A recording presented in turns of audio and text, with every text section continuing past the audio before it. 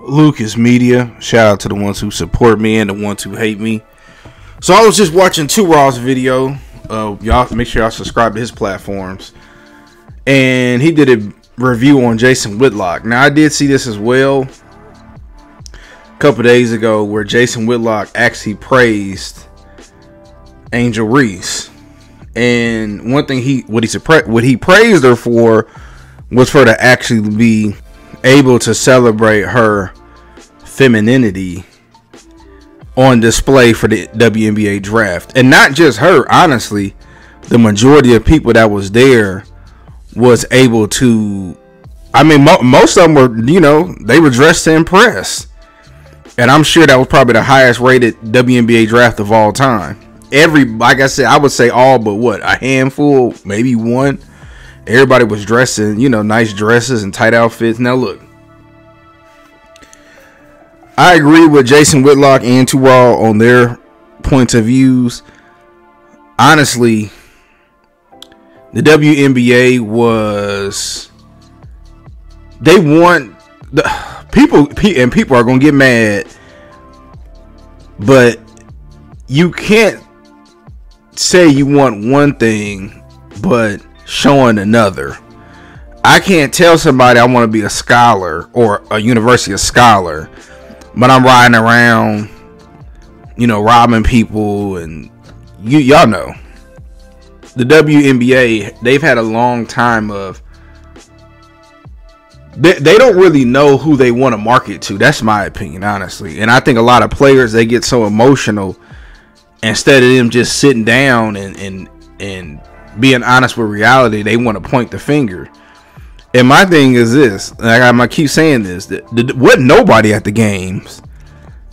Wasn't no women at the games, wasn't no men at the games, wasn't no dogs at the games, no chickens, no pig. Nobody went to the WNBA games. And now that you got an Angel Reese and a Caitlin Clark, you're gonna have more people. And you know, unfortunately, well, not even unfortunately, y'all honestly got to realize that. I mean look, you got to have the right look. I'm sorry, you just do. And certain people can't move the needle. And i.e. Odell Beckham in his prime, David Beckham in his prime, Michael Jordan in his prime. You know, these are people that move the needle. The WNBA needed that. You needed a, a Angel Reese that you know the men can go, oh wow, you know, and even the little girls can look up to, or a Caitlin Clark, and then you need a rivalries. And you know, that's just something that the WNBA didn't understand. But it is nice to see, you know, very beautiful women and they're allowed to be beautiful women. You know, they're not forced to be a you know, put in a certain group or whatever. So I, I honestly agree with both of them on that and and one more thing.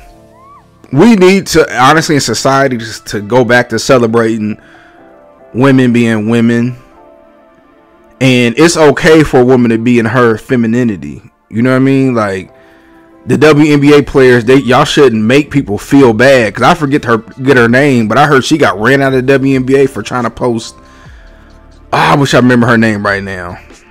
Uh, I think she's Australian, but a lot of WNBA players didn't like her from what what she was doing with OnlyFans. I want to give a special shout out to Angel Reese for you know, changing the the look of the WNBA again, allowing women to be in their femininity, you know, be very feminine. I just it was it was nice to see, honestly.